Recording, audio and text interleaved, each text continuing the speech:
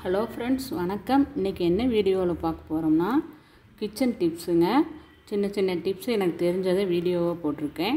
பாருங்கள் இந்த வீடியோ ஃபுல்லாக பாருங்கள் இந்த வீடியோ பிடிச்சிருந்தா சப்ஸ்கிரைப் பண்ணுங்கள் வாங்க வீடியோக்குள்ளே போகலாம் முதல் டிப்ஸு சின்ன வெங்காயம் நம்ம வாங்கினோன்னே இப்போ மழை காலத்தில் எப்படி வச்சாலும் அது கொஞ்சம் ஈரம் இருக்கிறதுக்கு இதாகிடுங்க அது வந்து ஒரு அரை மணி நேரம் அப்படியே வெயிலில் இப்படி தனித்தனியாக எடுத்து வச்சுட்டு அந்த ஈரம் காஞ்சோன்னையும் ஒரு நியூஸ் பேப்பர் எடுத்து அதில் வந்து விரித்து ஒரு பக்கம் காற்று போகிற மாதிரி காற்றோட்டமாக வச்சிட்டிங்கன்னா உங்களுக்கு வந்து இது எவ்வளோ நாள் ஆனாலும் வெங்காயம் அப்படியே இருக்குங்க.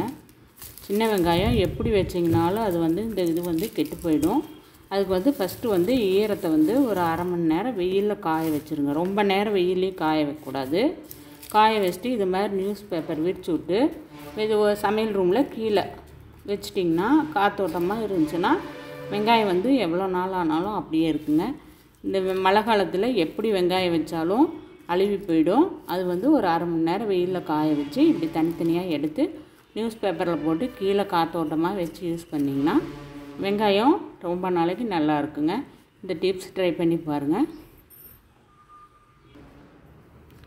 ரெண்டாவது டிப்ஸ் பார்த்திங்கன்னா உருளைக்கிழங்கு நாம் எப்படி வாங்கினாலும் அதை வந்து வச்சோன்னையும் அந்த முளப்பு வந்த மாதிரி ஆகிடுங்க செடி முளைச்சிக்கும். அது இல்லாமல் இருக்க கீழே ஒரு நியூஸ் பேப்பர் போட்டு இந்த உருளைக்கிழங்கை வச்சுட்டு இதுக்கு வந்து ஒரு நாலு வந்து பூண்டு. இது உதிரி பூண்டு இருக்குது பாருங்கள் அது அதோட போட்டு வச்சிட்டிங்கன்னா உருளைக்கிழங்கு அந்த ஈரமெல்லாம் அந்த பூண்டு உறிஞ்சிக்குங்க.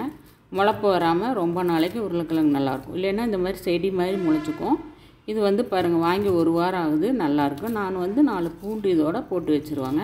இதே மாதிரி நீங்கள் வீட்டில் உருளைக்கிழங்கு வாங்கினோனையும் ஸ்டோர் பண்ணி எடுத்து வச்சுக்குங்க. இந்த டிப்ஸ் ரொம்ப யூஸ்ஃபுல்லாக இருக்கும். இப்போ மூணாவது டிப்ஸ் பார்த்தீங்கன்னா புளி நாம் வாங்கி டப்பாவில் போட்டு வைக்கும்போது இப்படி திறந்தோனையும் அது வந்து ஒரு பூச்சி வந்துடுங்க அது இல்லாமல் இருக்க இந்த வந்து புளியை வந்து ஒரு பிளாஸ்டிக் டப்பாவில் தான் போடணுங்க. போட்டு அதனுடைய கல்லுப்பு கீழே கொஞ்சம் போட்டிருக்கேன். இப்போ மேலே கொஞ்சம் கல் கல்லுப்பு தூவிக்கிங்க தூவிட்டு ஒரு நாலு கிராம்பு இருக்கு பாருங்க. அது போட்டு வச்சிட்டிங்கன்னா புளி வந்து அந்த பூச்சி இல்லாமல் ரொம்ப நாளைக்கு நல்லா இருக்குங்க.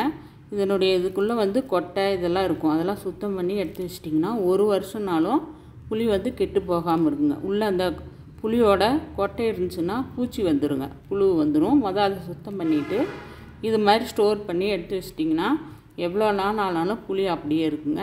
இந்த டிப்ஸ் ட்ரை பண்ணி பாருங்கள் இப்போ நாலாவது டிப்ஸ் பார்த்திங்கன்னா நம்ம வந்து இந்த மாதிரி சுண்டல் தட்டைப்பயிறு பச்சைப்பயிறு இதெல்லாம் வாங்கி வெயிலில் காய வச்சு அதை எடுத்து வைக்கும்போது ஒன்றா ஃப்ரிட்ஜில் ஸ்டோர் பண்ணிக்கலாங்க. அப்படி இடம் இல்லைன்னா நீங்கள் வந்து இது காஞ்சோனையும் ஆயில் இருக்குது பாருங்கள் கல்லெண்ணெய் நெல்லெண்ணெய் நம்ம வீட்டுக்கு யூஸ் பண்ணுற எந்த எண்ணெயாக இருந்தாலும் ஒரு அரை ஸ்பூன் இருக்குது எவ்வளோ குவாலிட்டியோ அது குவான்டிட்டியோ அதுக்கு தகுந்த மாதிரி நீங்கள் கலந்து எடுத்து வச்சுக்கிட்டிங்கன்னா நல்லா இருக்குங்க. பூச்சி வராது. ஒரு ஆறு மாதம்னாலும் இந்த பயிர் அப்படியே இருக்குங்க. இதே மாதிரி நீங்கள் வீட்டில் ட்ரை பண்ணி சேவ் பண்ணுங்கள் கொஞ்சம் இடம் இருந்துச்சுன்னா ஃப்ரிட்ஜில் ஸ்டோர் பண்ணிக்கலாம். அப்படி இல்லைன்னா நீங்கள் வெளியே கூட நல்லா வெயிலில் காய வச்சு இது மாதிரி ஆயில் தடவி எடுத்து வச்சிட்டிங்கன்னா பொருள் வந்து கெட்டு போகாது நல்லா இருக்குங்க. இது மாதிரி மூடி எடுத்து வச்சுருங்க. இந்த டிப்ஸ் ரொம்ப யூஸ்ஃபுல்லாக இருக்கும். ட்ரை பண்ணி பாருங்கள் இப்போ அஞ்சாவது டிப்ஸ் பார்த்தீங்கன்னா ஊசியில் நாம் பூ கோர்க்க இதுக்கெல்லாம் நூல் கோர்க்கும் போது இப்படி மாதிரி ரெண்டாக நூல் கோர்ப்போம் பாருங்கள் அப்போ வந்து இது வந்து ரெண்டு லேயராக வந்துடும் நம்ம கோர்க்கும் போது ஒன்றா இருந்தால் தான் கோர்க்க ஈஸியாக இருக்குங்க. இது வந்து நம்ம இதில் வந்து பேஸ்ட்டு தடவுனோம்னா அப்படியே ஸ்டிப் ஆகிடும் ஒன்றா வந்துடுங்க அது எப்படின்னு காமிக்கிறேன் பாருங்கள் அது மாதிரி பண்ணிவிட்டு நூல் கோர்க்கும் போது ஈஸியாக இருக்குங்க. கொஞ்சமாக பேஸ்ட் எடுத்துக்குங்க.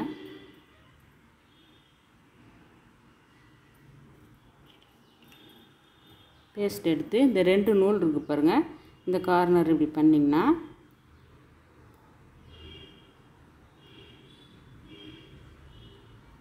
பாருங்கள் நல்லா ஷார்ப் ஆகிடும் கோர்க்கறதுக்கு ஈஸியாக இருக்கும். நான் கோர்த்து காமிக்கிறேன் பாருங்கள் பாருங்கள் நல்லா இப்படி ட்ரை நல்லா ரெண்டு ஜாயிண்ட் ஆகிடுச்சு இப்போ நம்ம வந்து ஈஸியாக அதில் நூல் கோர்த்துக்கலாம். ரெண்டு நூல் இருந்தால் உள்ளே நம்ம கோர்க்க முடியாது. இது மாதிரி பண்ணிட்டிங்கன்னா நல்லா ஸ்டிப்பாகவும் ஆகிக்கும் கோர்க்கறதுக்கு ஈஸியாக இருக்கும். இந்த டிப்ஸு ரொம்ப யூஸ் பண்ணி பாருங்கள் டெய்லி நம்ம பூ கட்டும் போது இது மாதிரி மொத்தமான நூல் போடுவோம். அது எப்படி கோர்க்கறதுனா இது மாதிரி ஈஸியாக நீங்கள் நூல் கோர்த்துக்கலாங்க. இன்றைக்கி பார்த்த இந்த அஞ்சு டிப்ஸுமே ரொம்ப வீட்டுக்கு யூஸ்ஃபுல்லான டிப்ஸுங்க.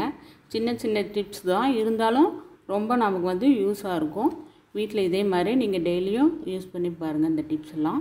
இந்த வீடியோ பிடிச்சிருந்தால் லைக் பண்ணுங்கள் ஷேர் பண்ணுங்கள் சப்ஸ்கிரைப் பண்ணுங்கள் ஓகே தேங்க்யூ